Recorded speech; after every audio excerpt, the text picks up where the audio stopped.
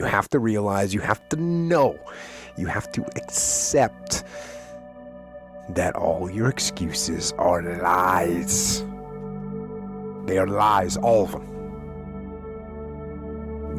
Think about the things that you tell yourself, the lies you use to rationalize taking the easy road. Taking the easy road and leaving discipline behind. Think about them. You don't have time.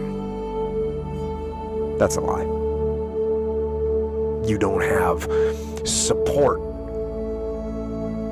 That's a lie. You don't have the equipment or the gear.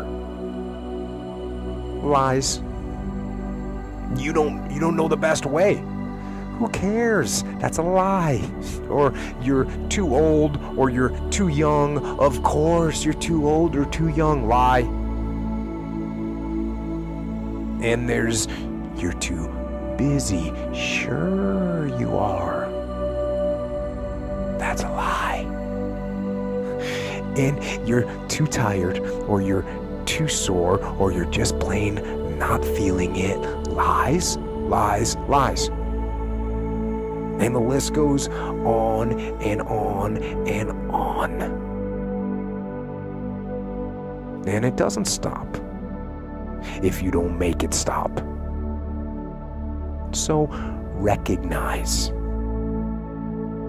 Recognize the excuses are not valid. They aren't. They're trumped up. They're conjured up. They're fabricated. They're lies. And how do you stop the lies? You stop the lies with the truth. The truth. The truth will set you free. The truth will stand and the truth will deliver you from procrastination and laziness and the downward spiral that comes with a lack of discipline. So don't believe the lies, believe the truth. And the truth is, you have time. You have the skill, you have the knowledge and the support and the willpower and the discipline to get it done. So cast out the lies, burn them down, and listen to the truth, and live the truth, and go out and get it done. And I think that overcoming the key to any overcoming any fear in my mind is we talked about this a little earlier, which is inoculation. And this idea, and I actually looked up the definition of inoculation, and it's the, introdu- the introduction of a pathogen or antigen into a living organism to stimulate the production of antibiotic- antibodies. So you're giving yourself a little bit, Right, right. and you give yourself a little bit, and you build up off there. it, yeah. And and that's what you do. You take the small doses, so it prepares you for the bigger bigger doses. And, and in the SEAL teams, we do the same kind of thing. We know where you're going to get inoculated against stress.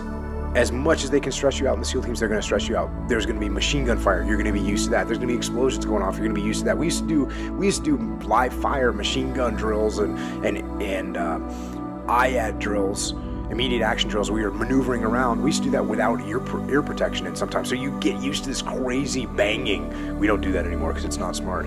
But uh, but you do that to inoculate. It's like what you were talking about earlier. When that gun goes off, you should be completely comfortable with it. And there's a, a one of my favorite stories. Well, not one of my favorite stories, but one of one of the, uh, a buddy of mine who actually took my job. I was a task unit commander, and he actually took my job as task unit commander. And a flashbang is a grenade that you throw into a room before you go into the room, and it makes a loud explosion and smoke, and then it allows you to enter in on the room when the people that are inside are now startled. So you have an advantage. Well, occasionally, you know, you have to open the door to throw the, the crash in there, and occasionally someone will open the door and someone will run in. By, they, they didn't coordinate it well, and so you open the door, guy runs in, and then someone throws the crash in. So now you're crashing yourself. And it's not that big of a deal. You got to get used to it. But what happened with one of his new guys, you know, that happened. So the door went open. s- The guy went in, and and while the guy's running in, somebody throws a crash in there. The guy sees the crash and he runs back out of the room, which is not what you're supposed to do. so this guy was the task unit commander. He goes, "Hey, uh, come with me down here." And so they walked down, and he brought him into a closet in the kill house, and just sat in there and said, "Yeah, how's it going?" And they just sat there in the dark and dropped like eight crashes at their feet and just blasted the guy because he realized you just got to get inoculated. Yeah. You know, you just got to overcome it. So that's kind of, I guess my my theory here would be if you're afraid of fighting and altercations, go train jujitsu. If you're afraid of heights, work on some rock climbing. Climbing. If you're afraid of the water, it's time to swim. It's time to surf. It's time to get out there. If you're afraid of pull-ups, if if you're afraid of pull-ups, do pull-ups. If you're in squats, do squats. If you're afraid of public speaking, go speak in public. Mm-hmm. If you're afraid to start a business, start a business. Make it small. And on all these, what you have to do is you have to mitigate the risk and you have to ease yourself into it, but you got to go for it. And eventually, you will overcome that fear.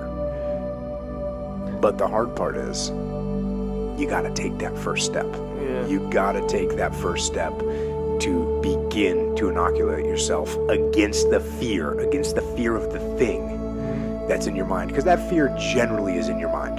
Yeah. That, you know, when you get up on stage to do public speaking, people are not going to throw tomatoes at you and say, "Oh my, you're an idiot! Get off the stage." No, Right. they're they, they're going to sit there. You know, so Yeah. there's nothing to fear. Yeah. It's in it's in your head.